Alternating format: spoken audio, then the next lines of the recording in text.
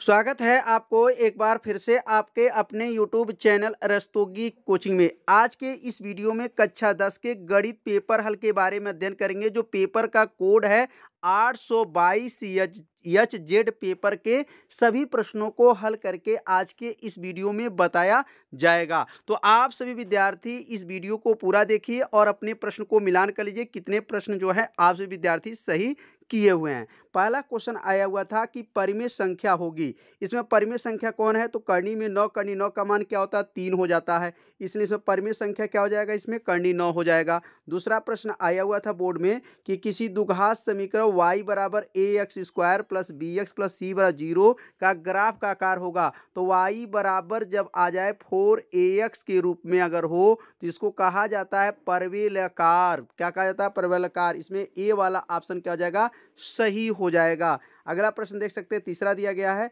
कि यक्स अपान ए बराबर वाई अपान बी है A X plus B Y बराबर A square plus B square में वाई का मान होगा। तो इसमें चार ऑप्शन दिया गया है तो इसको सॉल्व करने पर इसमें सी ऑप्शन सही आ रहा है। मतलब सी मतलब तीसरा में जो है सी बराबर बी यह जो है सही है। तो अगले भाग में सभी प्रश्नों को हल करके आपको उत्तर दिखाया जाएगा। इस भाग में केवल विकल्पी प्रश्नों को हल आंसर बताया जाएगा। तो अगले भाग का वीडियो जब हल हो जाएगा तो डिस्क्रिप्शन बॉक्स में उस वीडियो का लिंक दे दिया जाएगा, वहाँ से जा करके उस जो है संपूर्ण पेपर हल को देख सकते हैं। अगला प्रश्न आया था, यदि दुघात समीकरण यक्स स्क्वायर माइनस चार यक्स प्लस ए व ज़ीरो में कोई वो कोई वास्तविक मूल नहीं है तो इसमें ऑप्शन हो जाएगा तो ए का मान जो है चार से बड़ा हो जाएगा बी वाला ऑप्शन इसमें सही हो जाएगा। अगला प्रश्न आया हुआ था कि अनुक्रम दिया गया करणी में दो दो करणी में दो, तीन करणी में दो का दसवां पद होगा तो दसवां पद जो हो जाएगा, दो सौ हो जाएगा, इसमें सी वाला ऑप्शन जो है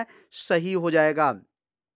अगला प्रश्न आया था, निम्नलिखित सारणी का माध्य होगा। जब इसको हल करने पर इसमें आंसर क्या आ रहा है?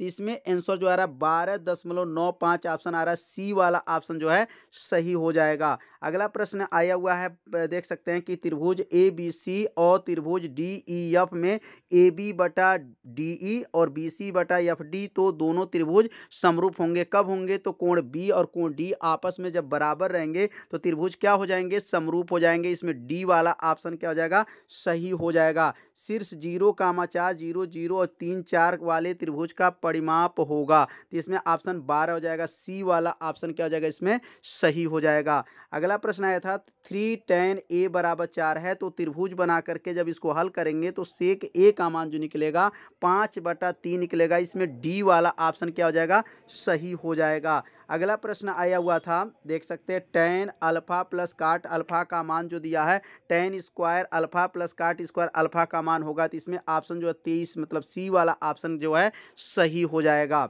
तो दसवां में सी वाला ऑप्शन जो है सही होगा। अगला दिया है साइन थीटा और कोशिक थीटा।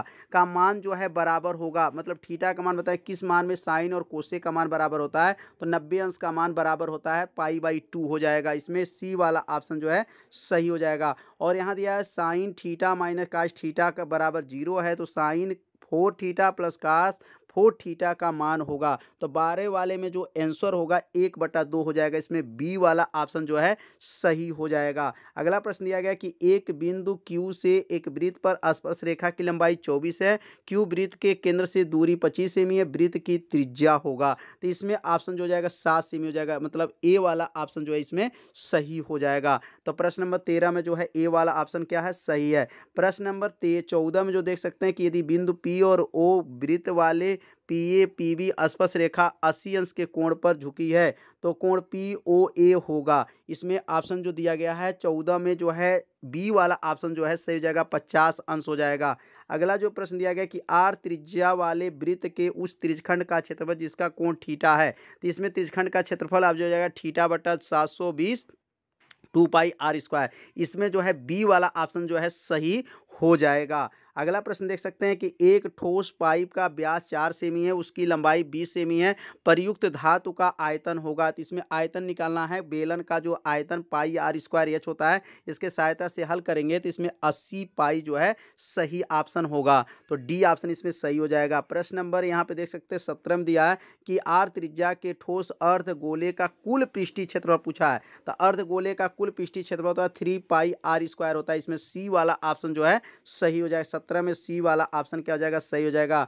अगला प्रश्न है, निम्नलिखित सारणी का माध्यक वर्ग आपको निकालना है। तो माध्यक वर्ग जब इसको संचयी बारंबारता बनाएँगे तो संचयी बारंबारता से जब हल करेंगे तो इसमें ऑप्शन जो है तीस से चालीस मतलब बी इसमें तीस से चालीस इसमें ऑप्शन आएगा। सी वाला ऑप्शन याद रखेंगे, इसमें सी ऑप्शन जो है सही होगा, तीस से चालीस ऑप्शन जो है सही हो जाएगा। अगले भाग में संपूर्ण प्रश्न को हल करके आपको दिखाया जाएगा। आंसर कहाँ से आया हुआ है? तो उस भाग का वीडियो आप सभी विद्यार्थी ज़रूर देखिएगा। डिस्क्रिप्शन बॉक्स में उस वीडियो का लिंक दे दिया जाएगा। अगला प्रश्न देख सकते हैं कि एक बारंबारता सारणी का माध्य और माध्य क्रमशः दिया इसका बहुलक निकालना है। तो बहुलक को अगर निकालते हैं, इसमें हल करेंगे तो हल करने में आंसर आएगा पैंतालीस बी वाला ऑप्शन जो है इसमें सही हो जाएगा। यदि ये घटना का निश्चित रूप से घटती है तो इसकी परीक्षा क्या होता है? तो परीक्षाओं का एक फल क्या होता है? एक होता है। मतलब डी वाला ऑप्शन इसमें क्या हो जाएगा? सही हो जाएगा। तो इस भाग में सभी जो है बीस विकल्पी प्रश्नों को हल करके बताया गया। अगले भाग में संपूर्ण पेपर हल करके बताया जाएगा और डिस्क्रिप्शन बॉक्स में उस वीडियो का लिंक